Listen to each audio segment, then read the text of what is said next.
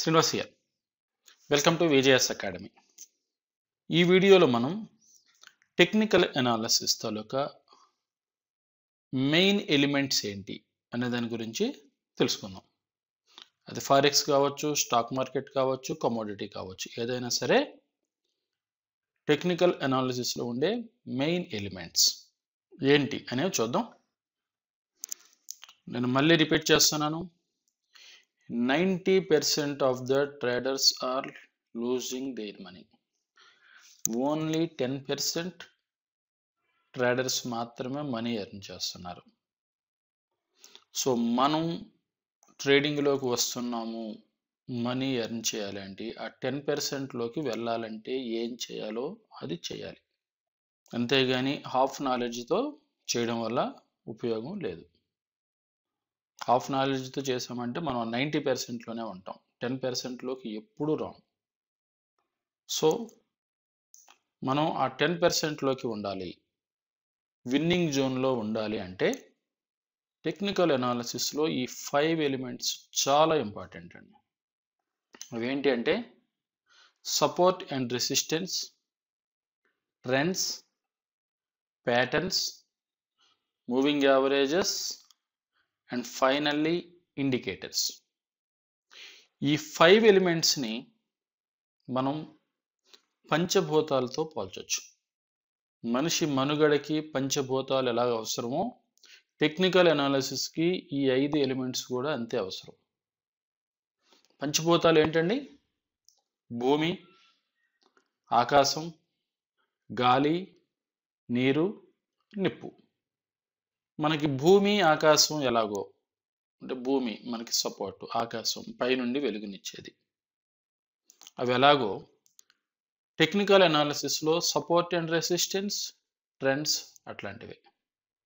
ట్రెండ్స్లో కూడా support and రెసిస్టెన్స్ని base చేసుకునే మనం ట్రేడ్ చేస్తాం. So support and resistance trends ఈ రెండు కూడా భూమి ఆకాశాలు లాంటివి. ముఖ్యమైన మూలకాలు ఆ రెండు. ఆ రెండు లేకపోతే మనకి మనుగడ ఎలా ఉండదో మొత్తం ట్రేడింగ్ అంతా support and resistance and trends మీదే నడుస్తుంది. తరువాతది గాలి. కొన్ని నిమిషాలు గాలి లేకపోతే మనం ఎలా బ్రతకలేమో? ఒక ట్రేడ్ సెటప్ కావాలంటే ముఖ్యంగా కావాల్సింది ప్యాటర్న్ మీరు ఒక సపోర్ట్ ఆ రెసిస్టెన్స్ జోన్ ఐడెంటిఫై చేశారు. అక్కడ ఇప్పుడు బై చేయాలా సెల్ చేయాలా అనేది చెప్పేది ప్యాటర్న్ మాత్రమే. అక్కడ ప్యాటర్న్ ఫామ్ అయిన తర్వాత మాత్రమే మనం బై చేయాలా సెల్ చేయాలనేది డిసైడ్ చేస్తాం. అందువల్ల మనిషికి గాలి ఎంత అవసరమో జీవరాశికి గాలి ఎంత అవసరమో ట్రేడింగ్లో ప్యాటర్న్స్ కూడా అంత అవసరం. నెక్స్ట్ వాటర్ నీరు. గాలి తర్వాత చాలా ముఖ్యమైనది నీరు. గాలి లేకుంటే కొన్ని నిమిషాల కంటే ఎక్కువ బ్రతకలేము. నీరు లేకపోతే కొన్ని రోజులకి మించి బ్రతకలేకపోవచ్చు. అదేవిధంగా ఇక్కడ మూవింగ్ యావరేజెస్ కూడా. ట్రెండ్స్ని పర్ఫెక్ట్గా మీకు ఐడెంటిఫై చేయడానికి ట్రెండ్ రివర్సల్స్ని ఐడెంటిఫై చేయడానికి దేనికైనా ఈ మూవింగ్ యావరేజెస్ మనకి అంత హెల్ప్ అవుతాయి. సపోర్ట్ అండ్ రెసిస్టెన్స్ అండ్ ట్రెండ్స్కి కాంబినేషన్గా మూవింగ్ యావరేజెస్ కూడా అప్లై చేశాము అంటే పర్ఫెక్ట్ ట్రేడ్ సెటప్ని మనం ఐడెంటిఫై చేసినట్లే. అందువల్ల జీవరాశికి నీరు ఎంత అవసరమో ట్రేడింగ్లో మూవింగ్ యావరేజెస్ కూడా అంతే అవసరం. ఫైనల్గా నిప్పు. పుష్పనం ఏదైనా సరే ఒక మనిషి కావచ్చు ఒక తినే పదార్థం కావచ్చు ఏదైనా సరే గ్రోత్ పక్వానికి రావాలి అంటే నిప్పు లేదా ఉష్ణం కావాలి. మనిషికి కొద్ది రోజులు డి విటమిన్ తగలకపోతే ఏమైపోతాడు? మనిషి తాలూకు గ్రోత్కి కావాల్సింది ఉష్ణం. అలాగే ఒక పంట చేతికి రావాలంటే దానికి తగిన ఆ ఉష్ణం ఉండాలి. లేదు చేతికి వచ్చిన పంటను వండుకొని తినాలన్నా సరే ఇక్కడ ఆ నిప్పు అనేది ఉంటేనే పర్ఫెక్ట్గా పక్వానికి వచ్చినట్లు.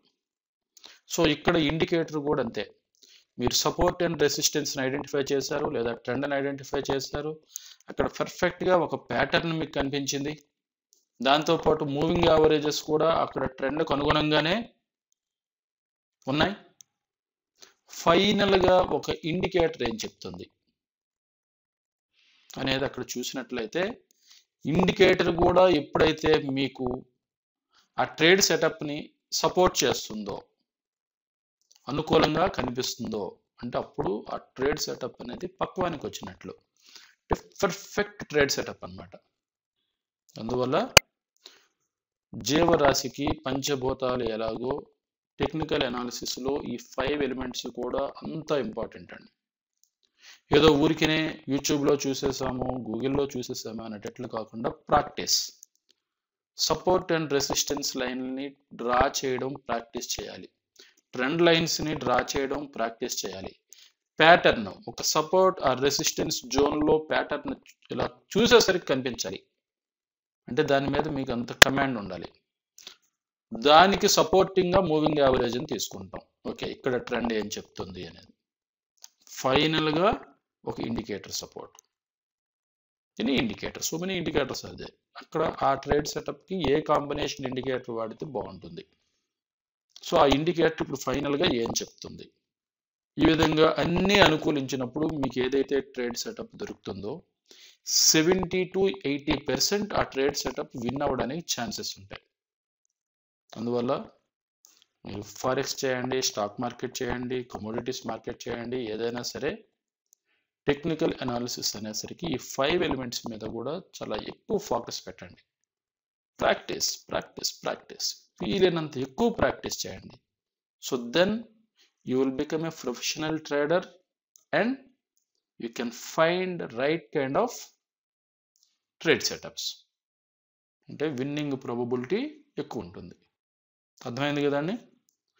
జీవరాశికి పంచభూతాలు ఎలాగో support and resistance trends patterns moving averages and indicators technical అనాలిసిస్లో అంత ఇంపార్టెంట్ కొద్దిగా ప్రాక్టికల్గా ఆలోచించాలండి. ఏదో మనం ట్రేడింగ్లోకి వచ్చేసాము ట్రేడింగ్ చేస్తున్నాం బై చేసాం సెల్ చేసాం మార్కెట్ మనకు అనుకూలంగా మూవ్ అయిపోతుంది అనేది కాదు ఇక్కడ.